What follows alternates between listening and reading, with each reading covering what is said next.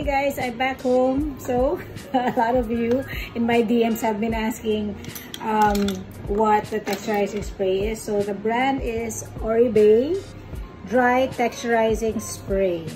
This is kind of expensive, but you, you don't you don't really need a lot. I've had this for quite a while now. I'm going to share another one which is just as good and it's a lot cheaper. It's the Garnier Fructis texture tease. But the thing with this, just don't put a lot because your hair is gonna become sticky and gunky. Give it a good shake and then just apply it in the roots like that. And then see, you see that? no, not like that. You have to fix it. But it gives the roots a little lift. You have to scrunch it up like that. So, cheaper, but just as good, more expensive. Two are my favorite. Mm -hmm. Side part forever, Gen Xers!